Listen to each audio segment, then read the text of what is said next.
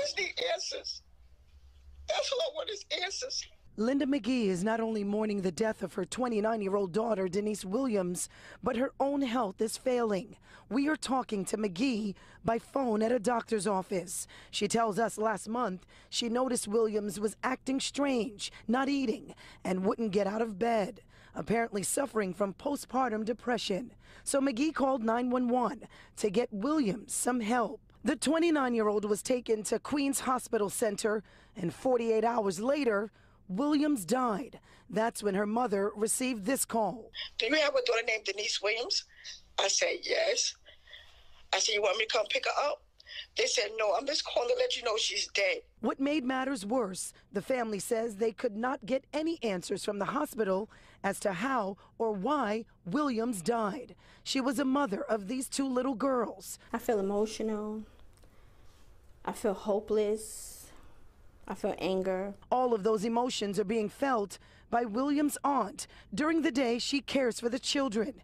And at night, it's William's sister who takes over. We want answers.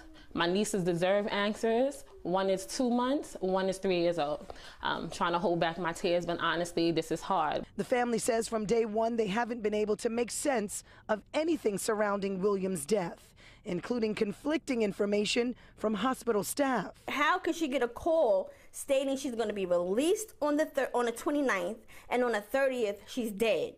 In a statement, a spokesperson for New York City Health and Hospitals Queens said, We are committed to providing quality, compassionate, safe care to all our patients, and we will continue to communicate with the family as appropriate.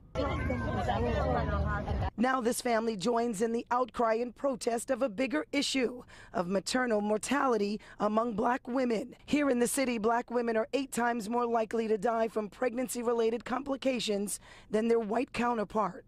Postpartum and death, it shouldn't even be in the same sentence. What do you want to see happen now? What do you want to get from the hospital or from the city? There has to be some systematic changes.